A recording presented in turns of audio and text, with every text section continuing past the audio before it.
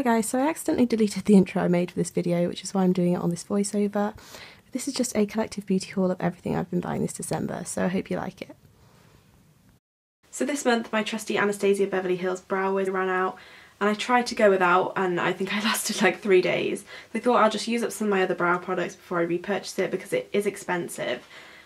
But I just couldn't live without it. So the shade I got was soft brown and it just looks like this. So you've got a brow pencil on one end and a little brush on the other for kind of like brushing your brows into shape. And what I really like about this product is that it isn't waxy because I find that waxy pencils sometimes pull on the actual hairs of my brow and just kind of misshape them a bit. And also it's really thin so you can really kind of control the shape of your brow and make them look really natural because you can kind of brush it on in hair-like strokes and I just really like the overall finished look and I have got it on today if anyone wanted to know what it looked like on.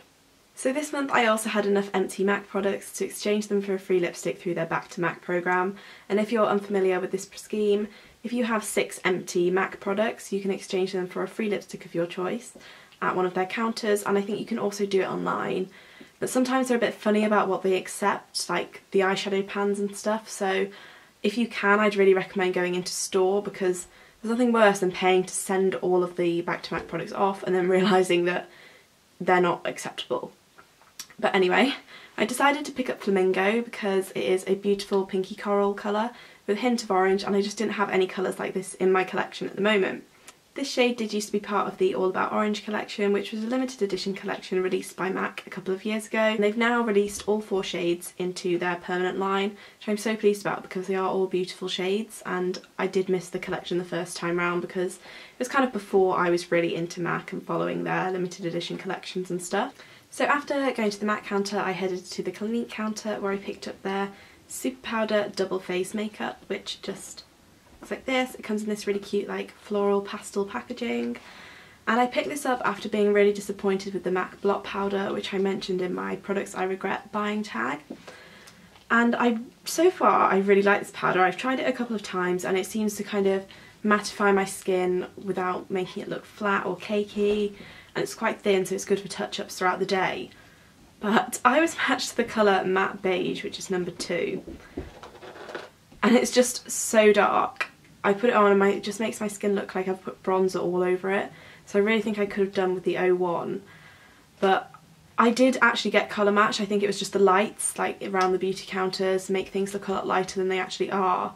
So it did look good when I put it on in the store, but when I got home and tried it, it just doesn't look anything like that.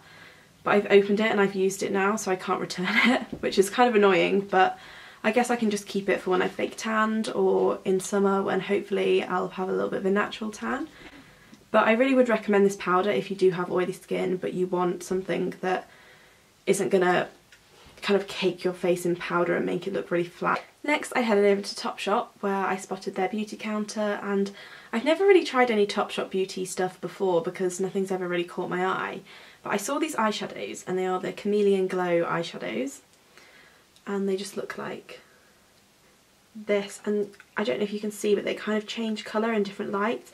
I'll try and insert a swatch um, somewhere in this video so that you can kind of see them changing in different lights because my camera's not really picking up on it right now. But I got the colour Wax and Wane which is kind of a purpley colour but when you put it on it looks a bit bronzy and it kind of applies in like a cranberry colour but when you blink it has this kind of like blue sheen across your eye and it's so sparkly and so pretty and I just love them. I did look on the Topshop website though and they said that they can be used as highlighters and I'm not really sure what Topshop were thinking when they said that because Wax and Wane is purpley colour with blue pigment over the top of it and I just that's not going to look good on your cheek and the other one that they have is kind of a goldy colour but it has a green pigment running through it, kind of a shimmery pigment. So I just, I don't really know who these would look good on as a highlighter but they are really pretty eyeshadows, so I really recommend you go and pick them up. And they're only £9, so I don't think that's too expensive. So yeah, I'd really recommend going and checking these out if you're ever in a Topshop. So the next product I have to show you this month is the Makeup Revolution Welcome to the Pleasure Dome palette, which looks like this. So you have a row of matte shades, some bluey purpley shimmers and also some neutral shimmers here.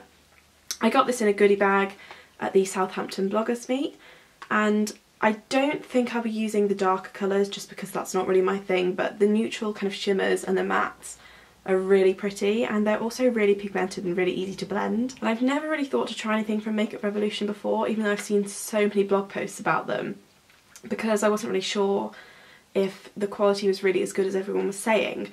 But now that I know it, that it is, I think I'm definitely going to have to try some of their other products. So if you know of any Make Makeup Revolution products that you think I'll like, please leave them in the comments below. Because I'd really love to see what you all love. So the last product I picked up this month is the OPI nail polish in Short Story, which is just this beautiful kind of bubblegum pink colour. Um, I picked this up because I had a mini OPI polish of one of the Minnie Mouse limited edition collections and it ran out and I kind of scoured the internet trying to find a replacement and try and get it in the full size but I just couldn't get it anywhere. The only place that was selling it was eBay for about £30.